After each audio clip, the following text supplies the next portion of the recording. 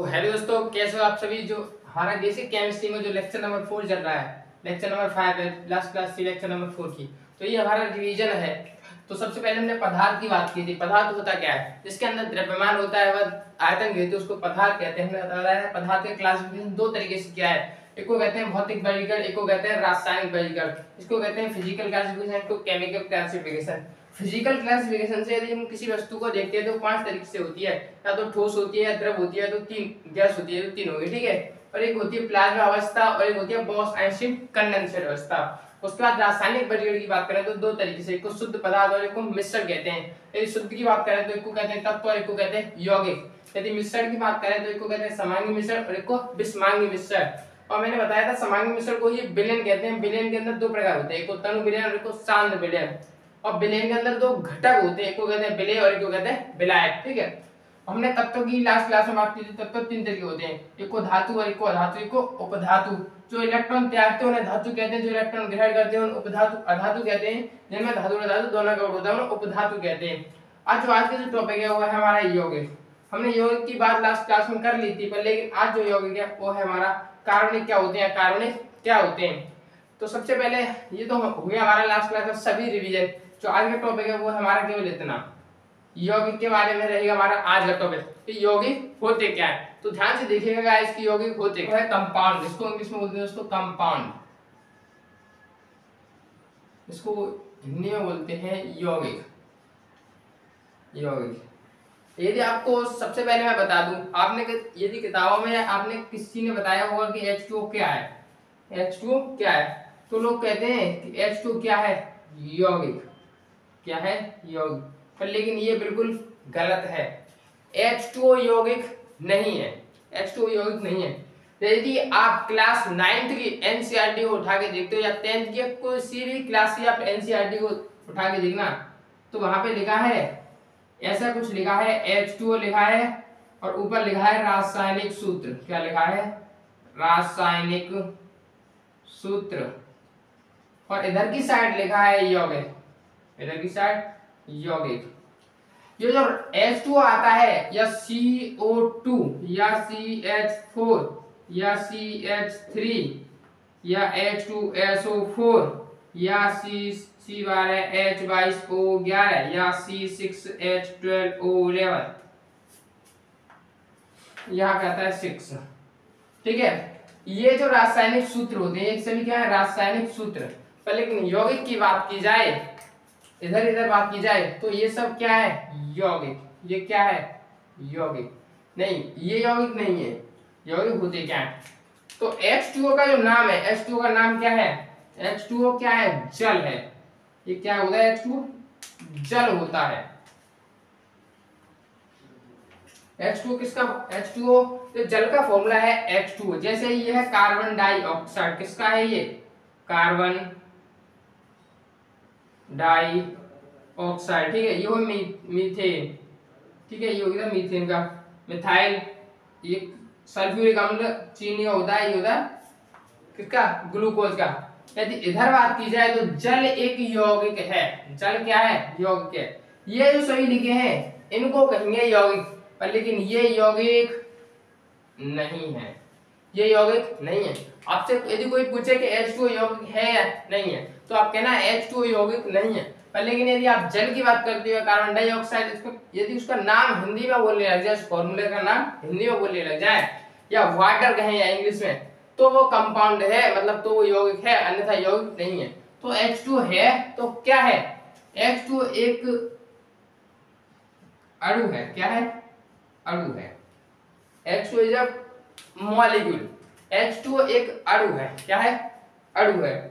तो ध्यान से देखिएगा, ठीक है? यदि आपसे, यदि आपको समझ आया कि यौगिक, होते क्या है? तो ये ये तो है सभी यौगिक। तो ऐसे यदि किसी का नाम हिंदी में लिखा होगा या इंग्लिश में तो उसको यौगिक कहेंगे। लेकिन ऐसे तो ये रासायनिक सूत्र है, ये क्या है? सूत्र है। तो दो या दो से तत्वों के निश्चित अनुपात से बने उसको क्या कहते हैं, यौगिक कहते हैं। किताबों में तो ये परिभाषा लिखी हुई है, पर लेकिन इससे हमारे कुछ भी समझ में नहीं आता है। तो आपके अभी समझ में आया होगा कि यौगिक क्या होते हैं।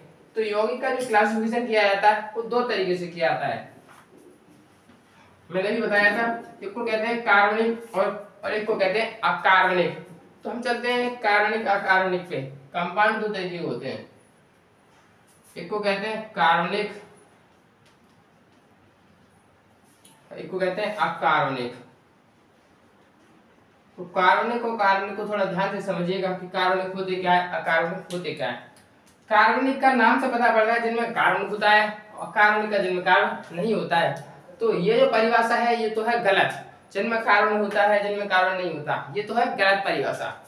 तो थोड़ा ध्यान से समझिए कार्बनिक होते क्या है? इनमें कार्बन तो होना चाहिए। कार्बन होना चाहिए।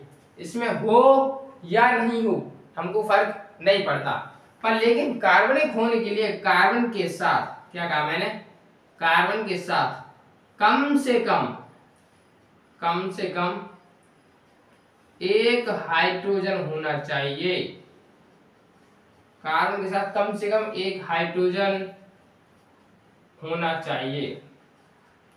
इसमें कार्बन हो या नहीं हो, पर लेकिन कार्बन है, पर लेकिन कार्बन है तो उसमें हाइड्रोजन जुड़ना नहीं चाहिए। यदि हाइड्रोजन जुड़ गया, यदि कार्बन के साथ यदि हाइड्रोजन जुड़ गया तो वो नहीं कार्बन के साथ हाइड्रोजन जुड़ गया तो वो कार्बनिक हो जाएगा।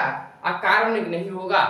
तो इसमें कार्बन हो या ना हो, पर लेकिन कार्बन हो तो कार्बन के साथ हाइड्रोजन नहीं जुड़ना चाहिए। तो ये तो होगा कार्बन इसका कुछ एग्ज़ाम्पल को देखते हैं। जैसे मैंने बोल दिया सी एच फोर यह ऑर्गेनिक केमिस्ट्री का फ़र्स्ट कंपाउंड है। ये ऑर्गेनिक केमिस्ट्री का फ़र्स्ट कंपाउंड है। ये मीथेन, ये फॉर्मूला है, ये कंपाउंड नहीं होगा। यदि हम इसका नाम लिख दें मीथेन मीथेन तो ये कंपाउंड है। तो ये कंपाउंड है, ठीक है? यदि हम सी एच फोर की बात की जाए तो थोड़ा पहले, सबसे पहले हमको जानना होगा, इसमें कार्बन के साथ कम से कम एक हाइड्रोजन होना चाहिए। इसमें कार्बन के साथ मतलब जैसे मैं कार्बन हूँ, मेरे साथ ये क्या है? हाइड्रोजन तो ये मेरे साथ अटैच्ड है किसके थ्रू मेरे हाथ के थ्रू तो ये जो हाथ है ना, इसको केमिस्ट्री में बोलेंगे बॉन्ड क्या बोलेंगे? बॉन्ड तो इसकी पहले स्ट्रक्चर जानते हैं मैं सी कुछ ऐसे करके इसकी स्ट्रक्चर होती है। आप ध्यान से देखिएगा। इसमें कार्बन के साथ तो देखो, ये हाइड्रोजन जुड़ा हुआ है। किसके तो ये दिख रहा है दिख रहा है ये डंडा सा। इसको डंडा नहीं बोलते दोस्तों, इसको बोलते हैं बॉन्ड क्या बोलते? हैं बॉन्ड जैसे मेरे ये हो गए तो इसको क्या बोलेंगे? डबल बॉन्ड मेरे तीन हाथ हो जाए तो ट्रिपल बॉन्ड ठीक है? जैसे ये क्या है? मैंने ऐसे करके पकड़ लिया तो ये मेरी उंगली को कारण मानिएगा। देखिएगा गैस जैसे मेरी एक उंगली और ये की उंगली, इसके बीच में मेरी उंगली उंगली किसके थ्रू जुड़ी हुई है ये? मतलब कि ये बीच में क्या है? ये ये मार्कर दिख रही है, इसको मानूँगा मैं बॉन्ड क्या मानूँगा? बॉन्ड ये हो गया सिंगल बॉन्ड अब ध्यान से देखिएगा, यदि मैंने ऐसे करके लगा दिया, तब ये क्या है? Double bond. क्या है? Double bond. यदि मैंने ऐसे करके लगा दिया तो कितने बॉन्ड हो गए? Triple bond. ये होते बॉन्ड।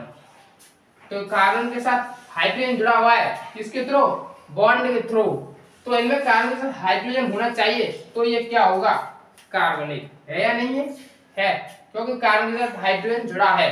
पर लेकिन यदि मैंने CO2 बोल दिया CO2 इसको बोलते हैं कार्बन डाइऑक्साइड तो इसकी जो स्ट्रक्चर होती है, इसकी स्ट्रक्चर बिल्कुल मीथेन की तरह नहीं होती, ना तो H2 की तरह होती है।